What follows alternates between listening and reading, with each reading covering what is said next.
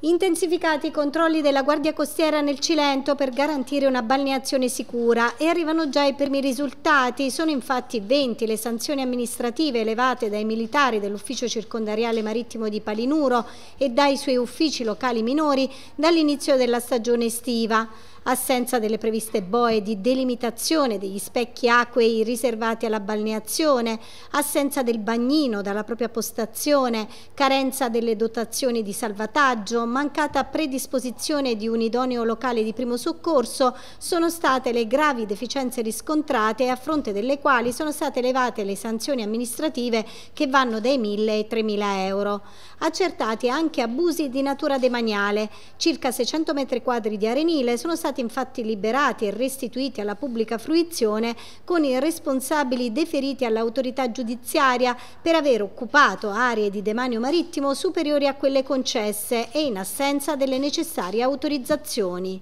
I controlli proseguiranno e interesseranno l'intera giurisdizione del circondario marittimo che include i comuni di Pisciotta, Centola, Camerota, San Giovanni Appiro, Santa Marina, Ispani, Vibonati e Sapri. Una particolare attenzione è rivolta alle imbarcazioni al fine di prevenire e reprimere comportamenti che possono mettere in pericolo la vita umana. Anche quest'anno alle unità che risulteranno in regola con la documentazione di bordo e le dotazioni di sicurezza necessarie per la navigazione sarà rilasciato il bollino blu che attesta l'avvenuto controllo ma non esenta da analoghi controlli di routine anche da parte di altre forze di polizia.